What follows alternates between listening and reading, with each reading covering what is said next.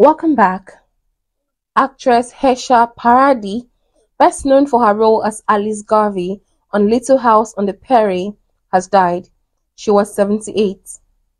Parady died Wednesday in Norfolk, Virginia, following her battle with a brain tumor. Parady's son, Jonathan Perval, told The Hollywood Reporter and Today.com, USA Today has reached out to Parady's representative for comment Perval previously opened up about Parady's medical condition on a GoFundMe page he created to raise funds for the actress's care.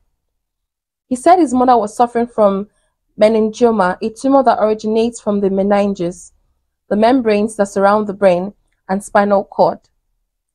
Meningioma is the most common type of tumor that forms in the head, according to Mayo Clinic.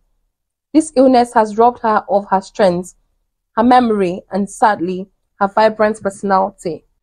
Perval wrote at the time, She has become largely bedridden and it's very difficult to see my mom, who was once full of life and energy, now struggling with basic daily activities.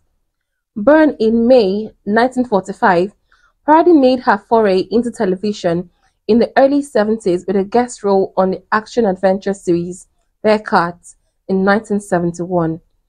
According to the actress's IMDb page, she followed up her showbiz debut with appearances on the series Mannix, The Waltons, and The Kirsts. Parady became a household name on TV when she landed the role of Alice Garvey on the family drama Little House on the Prairie.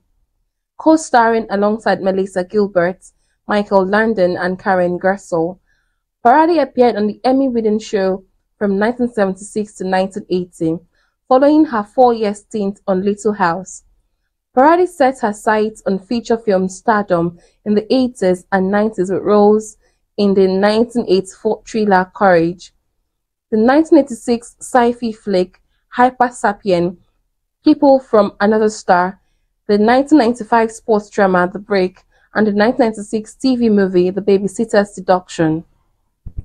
Thanks for listening.